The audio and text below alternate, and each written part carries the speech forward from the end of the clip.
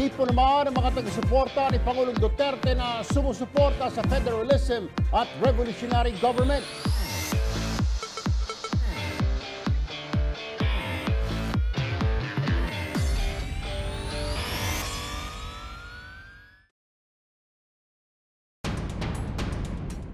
Good day and welcome to Pros and Cons, where we ask the hard questions and you decide which side of the truth you would choose to believe.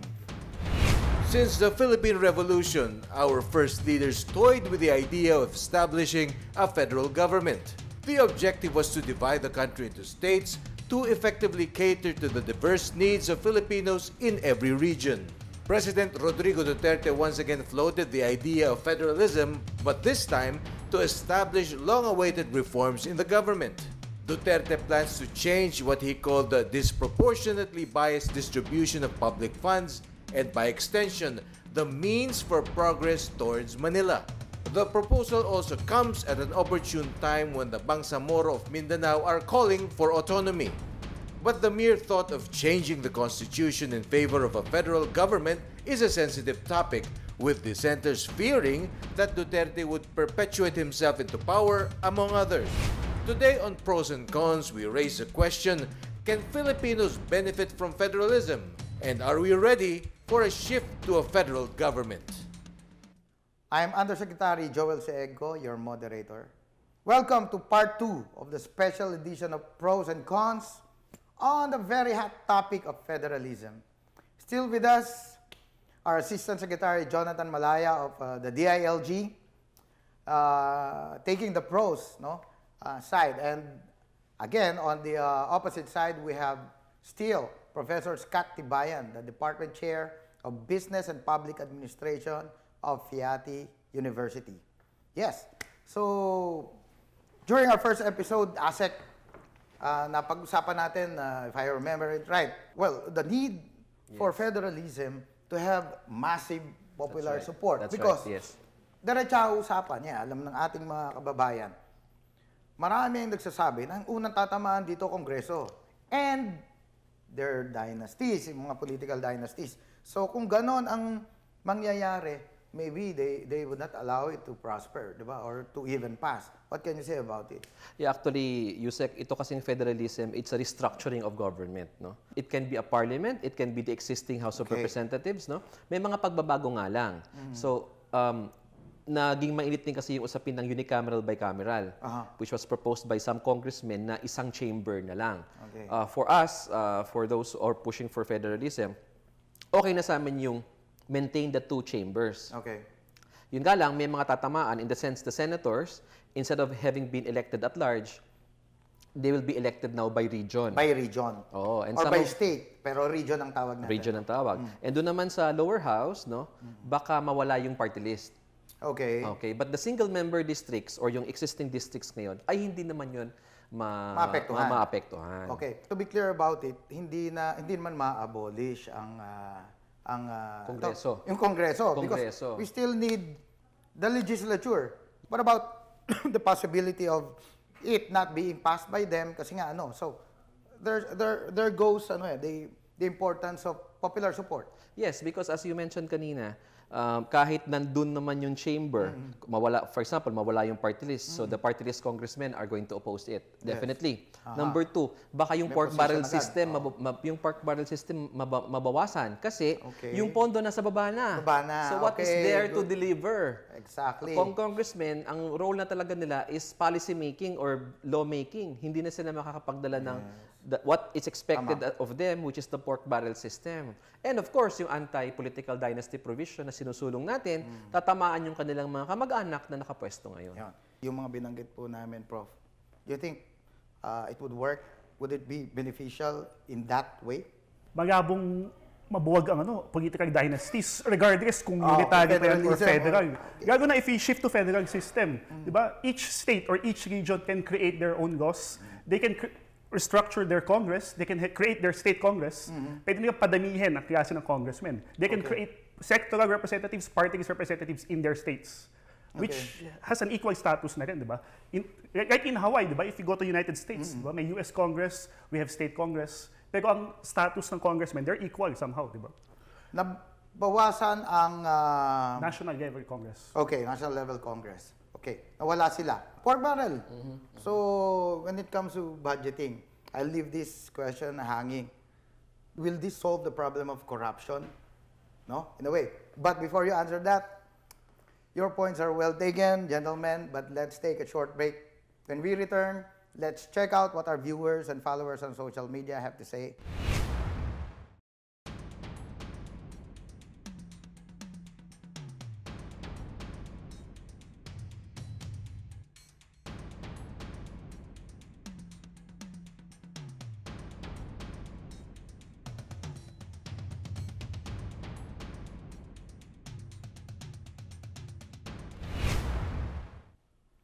You're still watching Pros and Cons. Before we continue, let's check out the comments of our followers on social media.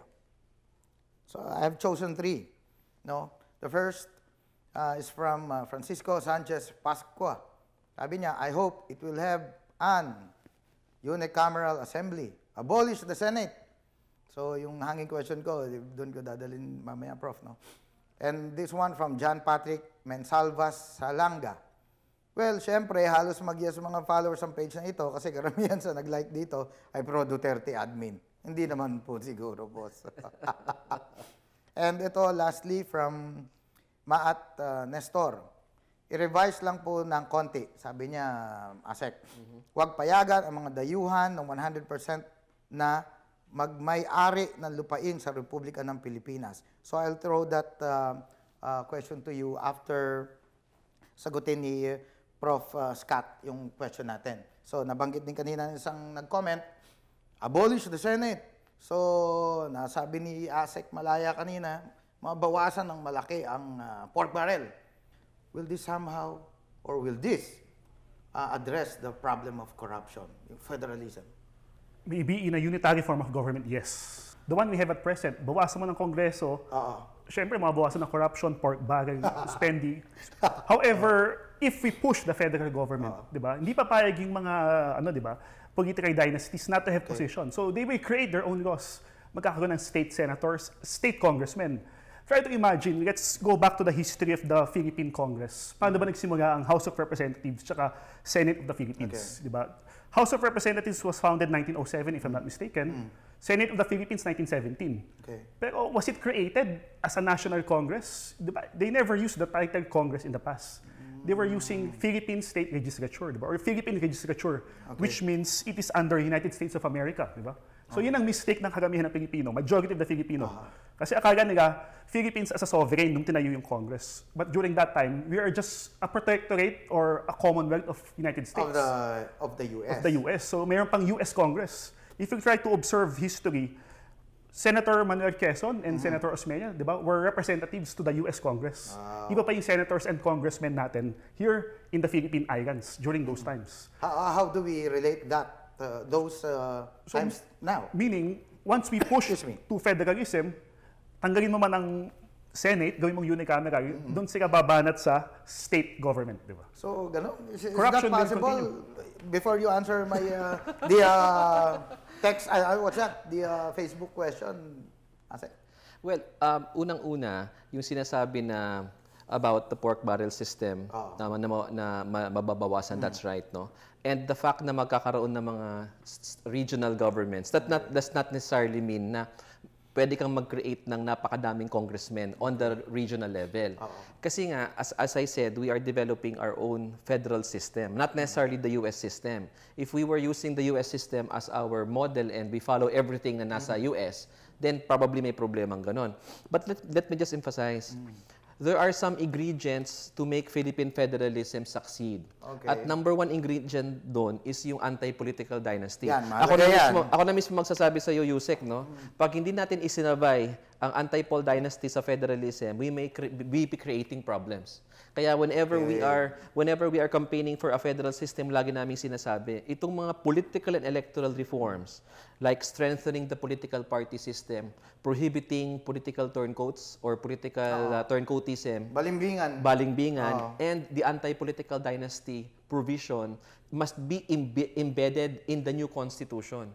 Kasi these are the ingredients that will make federalism in the Philippines succeed. Okay, that's basically pushing for federalism is dismantling political dynasties. Yes, Diba? yes. Ah, preventing the practice, the age-old practice of balim, balimbing. Yes. Hindi ba mas nadoble yung hirap ang problema? I mean, baka yun ang epekto eh. If I were a lawmaker na, teka, masisira yung dynasty ko. Pero partner, ito na sana yung panahon for the Filipinos to make those difficult decisions at this point. Kasi this is a president that ran on a platform of change. Yes. Eh kung hindi naman natin pala gagawin yung tunay na pagbabago, eh bakit pa tayo nagfe-federalism? We need federalism together with political and electoral reforms. Okay. And we should not only, if you agree, uh, Prof, hindi lang pwedeng sa kamay ng mga congressman natin ipaubaya lahat eh. Yes. What can the people do to push for federalism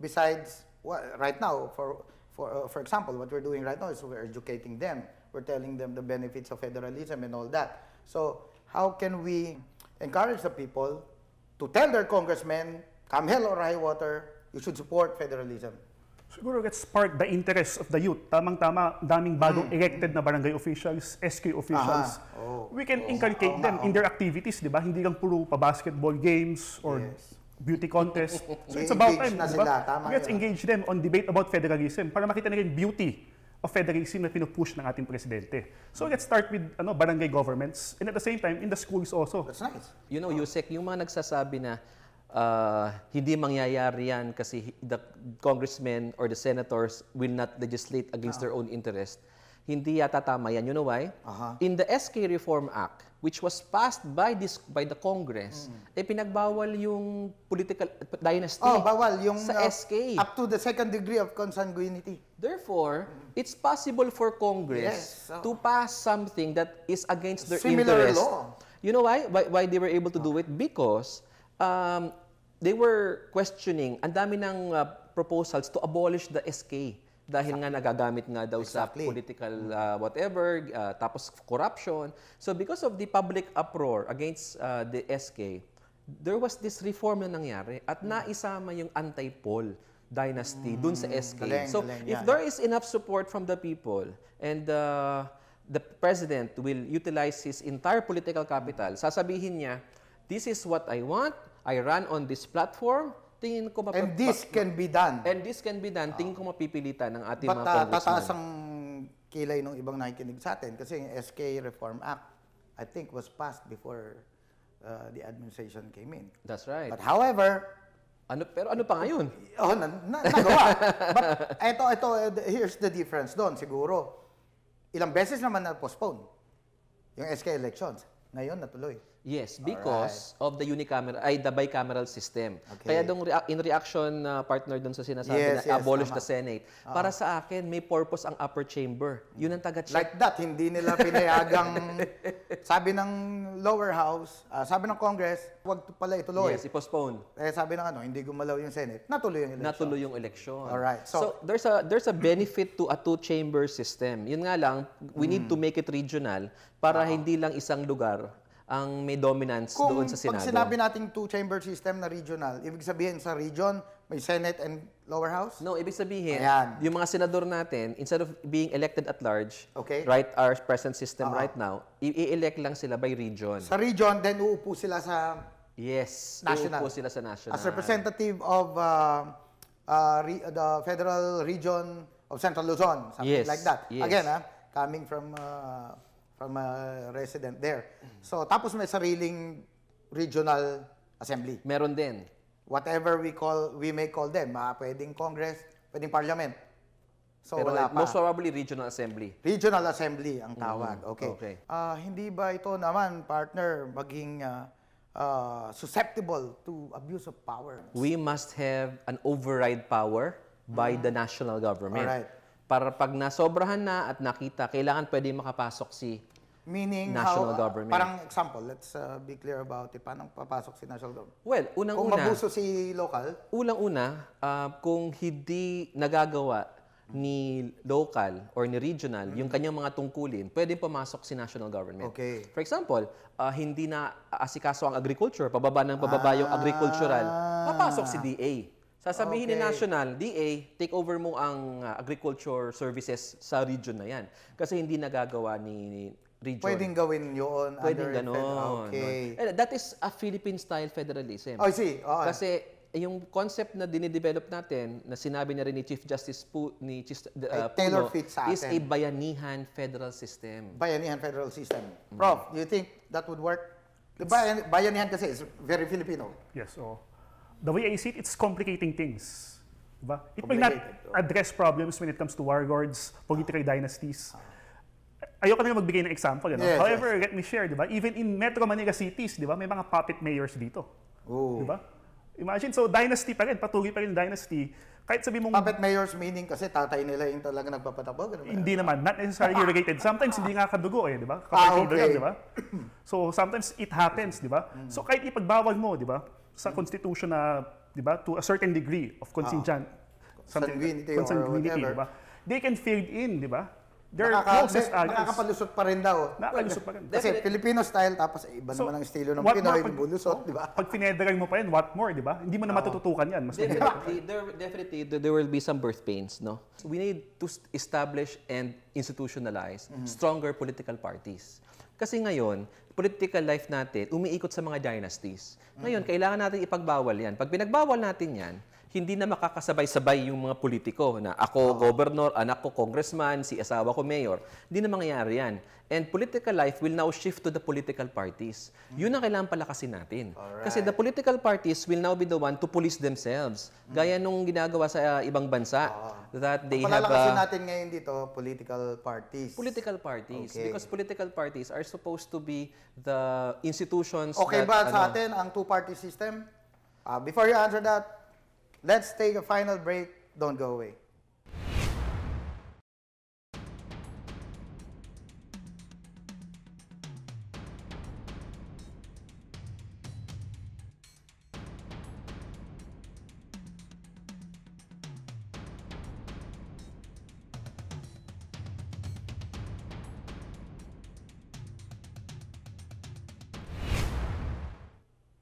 We're back. You're still on pros and cons and still on the topic of federalism. Kanina, before uh, we took a break, pinag-uusapan natin kanina, Asek, yung pagpapalakas ng mga political parties natin. And I think, well, the question I raised was that, uh, okay ba yung two-party system? You know, partner, yan nakakalungkot sa ating sistema ng gobyerno. Kasi Ah. yung ating mga partido parang damit na hinuhubad at uh, sinusuot na lang pa, uh, makatapos ng eleksyon. You know, everybody Sila, sila na lang eh. Oh, everybody runs to the to the ay, karamihan ng mga dating member ng Liberal Party ngayon nasa PDP laban na nasa you know that's what's ano Mapipigil yan. mapipigil yan kasi isa sa mga sinusulong natin and yung CONCON ay nag-aproba Oo. is to prohibit uh, turncoatism. For example, sa US, kung Republican ka, Republican ka, Yes. Democrat ka, Democrat ka. Uh, the- the- kaya namin pinupush yan kasi gusto namin mag-isip-isip muna yung politiko bago siya sumama ng partido. Okay. Kasi sumasama lagi sa bandwagon eh. Okay. So ngayon, pag-iisipan niya, ano ba tong partidong sinasamahan ko? Ah, pro-death penalty ba to? Ayan. Diba? Depende Eh, sa platform ngayon ng partido. Anti-illegal drugs ba to? Kasi if you will remember sa Kongreso, dahil hindi naman nila naintindihan yung kanilang sinamahang partido, nung pinush ni Speaker Alvarez, yung ah, anti-death penalty at may mga hindi bumoto, tinanggal niya sa mga chairmanship ng mga komite. They did not understand what they were supporting. So, parang ano yan, in a way, uh, multi-party system pa rin yan. It's a multi-party system. Na, na, na fixed ang platform at kung doon ka sumama, doon na lang. Doon ka, hindi naman the entire time. Kasi Alright. that would be a limitation to your right Alright. to association. Ang ito ang proposal namin, one year before the election and one year after the election, hindi ka pwedeng lumipat. I see. Midterm, doon ka lumipat. Okay, parang ganito yan. Ah. Ah, mayor ako. Ah, ah. Tapos term ko.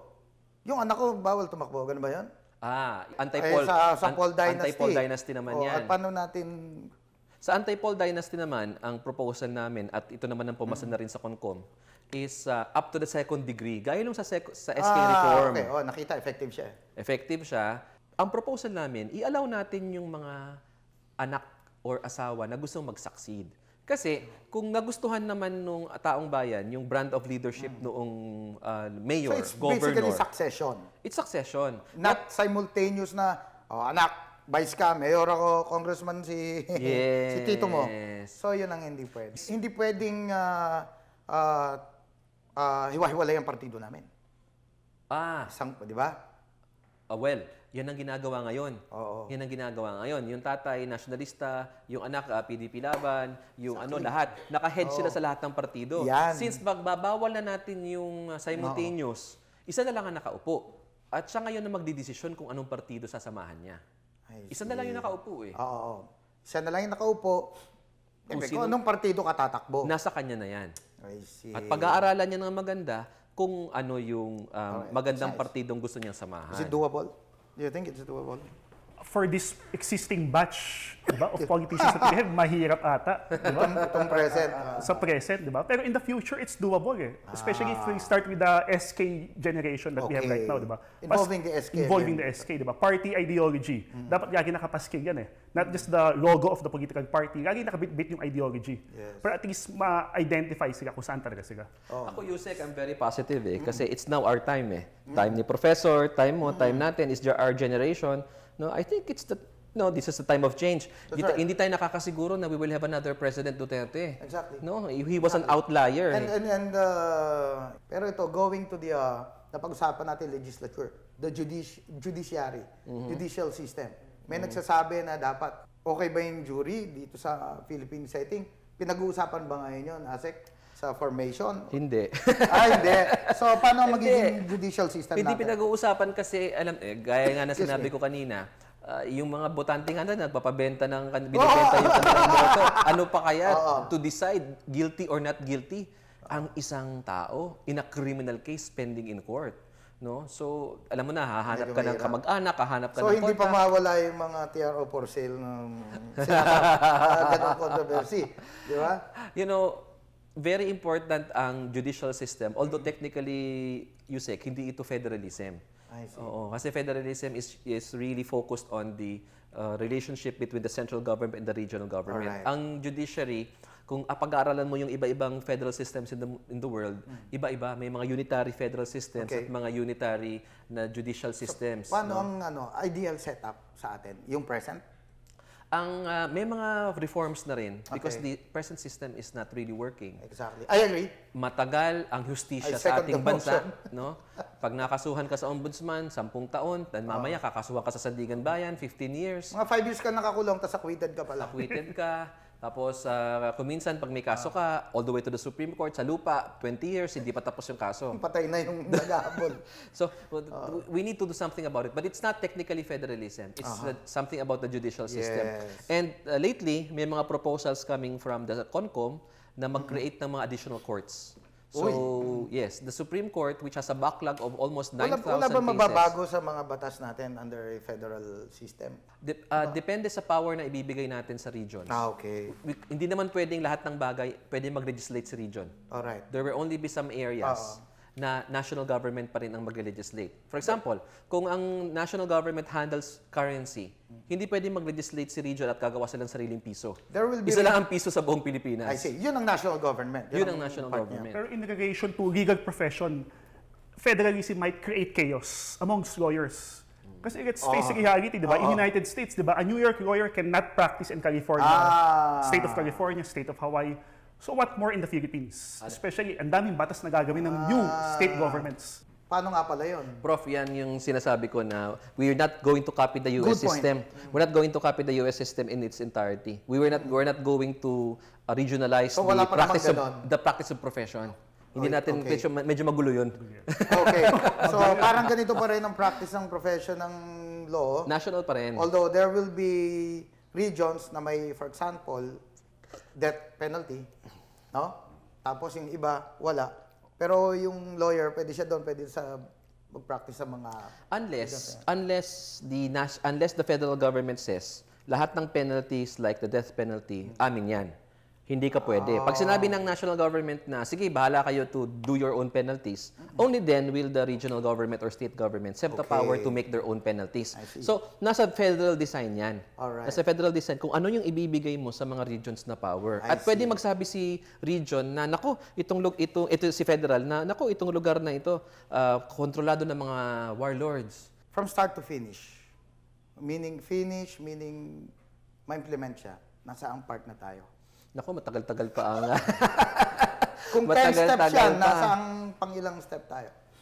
ah, well, ah, wala pa nga yung mo- patapos pa lang yung model natin. Siguro nasa second or third steps So, pa lang tayo. pa. Mahaba-habang debate pa ito, Okay, but the partner. eight other steps, for instance, no, for purposes of uh, Discussion. uh, discussion, Yes. achievable within four years. Yes. Ah, okay. Definitely, yes. Oh, yes, yes. And it's it's good na it will take some time kasi nga, gaya lumalabas dun sa ating social media comments sa USEC is uh, gusto ng tao mas maintindihan ito. And the Exactly. more time that we give for discussion gives more time for Yes. people to think about it. That's right, that's right. So, Prof, uh, are you optimistic still after hearing uh, Asek Malaya? Ay, yes naman, ano? However, however, I have to see the draft Yan, first, there diba? goes the however As early again. as possible, sana igabas na sa taong bayan, di ba? Yan. So at least everybody can take part. Alright. Mahirap kasi yung certain groups lang ang nakikinabang, di ba? When it comes to crafting, di ba, the policies. Mas maganda, let's involve everybody. Everybody. Di ba? So, with that, any final words, uh, Asek? Well, Yusek, thank you for inviting Yes, me, no? yes. Thank you for coming. Yeah, Grabe. and, and, I, and I think that I can assure all your all your uh, viewers here that there will be an opportunity for them to take part in this discussion. Uh, the first the, the first thing that the ILG is going to do starting next month is to go around the country in a federalism roadshow. No, so all the regional Nice. centers will be uh, and and there will be consultations. Yung mga CONCOM members will be there, and th- the people can ask With directly. PCO, PCO also. PCOO, syempre. yeah, Ah, yeah. yeah, yeah, yeah. Th- There is going to be a MOA that will be signed Yeah. very soon with the PCOO.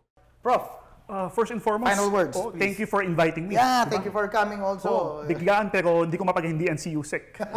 oh, and thank you also to ASEC Jonathan Magaya no, for being very, active. Yan ako natuto eh. Oo. However, for federalism to work, the way I see it, let's involve everybody. Kasi I'll be frank with you, ang daming nagtampo, especially if Congress is pushing CONAS.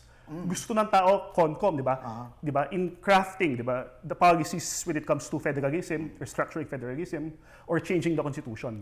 Pero for me, it's too early pa rin eh. Yes. Di ba? Sabi Let's- nga ni Asek, nakaka two steps pa lang Two steps tayo. pa lang. Oo, di ba? It will take time talaga. Let's Take focus time. first sa unitary pa rin. However, let's revise the Constitution. Kasi hindi na siya akma in this present generation. Ang dami ng changes eh. Including the Local Government Code of Nene Pimentel, medyo outdated na. And I hope the publishers, next time, once they sell the Constitution, attach na rin the Local Government Code. Alright. Para at least everybody, di ba, will be aware. Okay. So, there you have it, folks. Straight from the shoulder and right on the money. As President Duterte's campaign theme harps on change is coming, federalism may be the biggest change the country has yet to see.